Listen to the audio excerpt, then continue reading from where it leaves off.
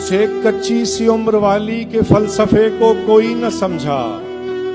जब उसके कमरे से लाश निकली खतूत निकले तो लोग तो लोग समझ।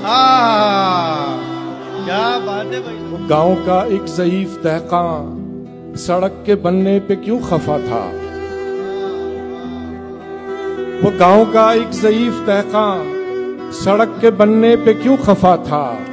जब उनके बच्चे जो शहर जाकर कभी न लौटे तो लोग तो लोग